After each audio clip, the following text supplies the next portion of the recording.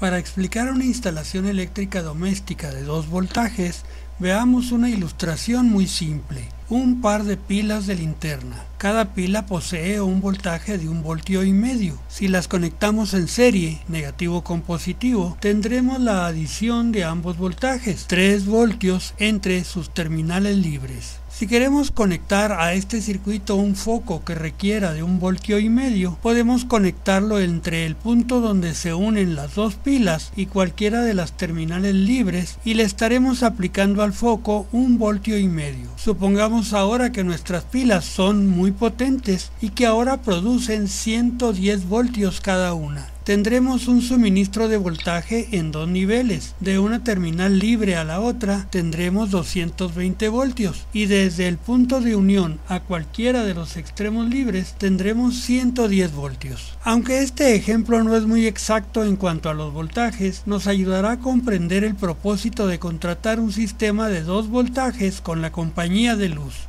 Como ya estuvimos estudiando, la energía que llega hasta nuestros hogares lo hace en la forma de corriente alterna. En vez de ser producida por reacciones químicas, como en el caso de las baterías, se origina en unas máquinas giratorias llamadas alternadores que tienen cuatro cables de salida. Uno de ellos es el llamado neutro, que equivale al punto de unión de las pilas. El segundo cable es el llamado L1 o fase 1 el tercero es llamado L2 o fase 2 y el cuarto es llamado L3 o fase 3.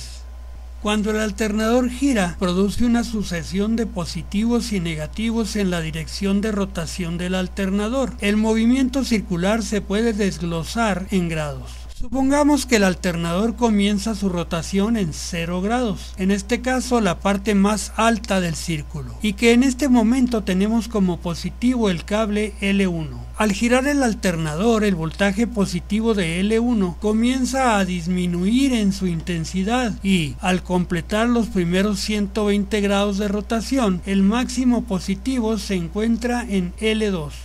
El alternador sigue girando y ahora disminuye el voltaje positivo presente en L2 y al completar los 240 grados de rotación, el máximo positivo se encuentra en L3. Cuando el alternador completa los 360 grados, el voltaje positivo regresa a L1. Podemos observar que cuando una de las fases se encuentra en positivo, ninguna de las otras se encuentra exactamente en negativo, sino en algún punto intermedio con lo cual la suma de los voltajes en serie no alcanzaría nunca los 220 voltios. Por esto, el voltaje que anteriormente etiquetamos como 110 voltios es en realidad de 127 voltios. Por eso dije que con el ejemplo de las pilas no se tendría una absoluta exactitud en cuanto a los voltajes. En otras palabras, cuando un electricista se refiere a 110 y 220 voltios, es meramente una costumbre para mayor simplicidad. El voltaje real entre cada fase y el neutro es de 127 voltios y el voltaje de fase a fase es de 220 voltios.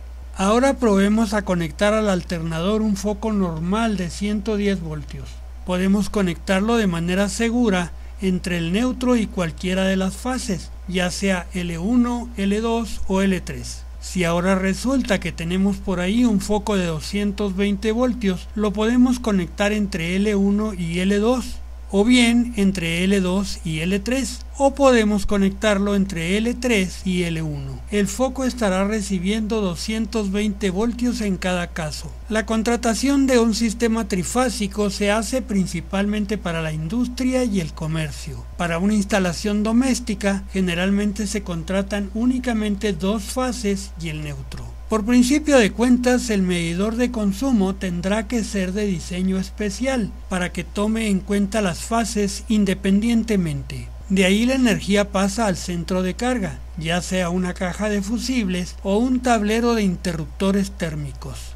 Aquí se puede conectar cada una de las dos fases o cables vivos a diferentes sector del edificio. Por ejemplo, las habitaciones ubicadas al lado derecho se pueden conectar a un interruptor térmico que venga de la fase L1 y las habitaciones del lado izquierdo se pueden conectar a otro interruptor térmico cuya energía venga de la fase L2. Además de estas ventajas, ahora tendremos una alternativa bastante interesante. Se puede hacer llegar a través de interruptores térmicos independientes tanto L1 como L2 para alimentar un aparato que normalmente suele ser de alto consumo, digamos un aparato de aire acondicionado. Las tomas de corriente correspondientes a estos aparatos de voltaje mayor son diferentes a las tomas normales, con lo cual se evita conectar equivocadamente un aparato de 127 voltios a una toma de corriente de 220 voltios, lo cual destruiría el electrodoméstico. La conexión a tierra para proteger al usuario es idéntica a la de una instalación normal de 127 voltios.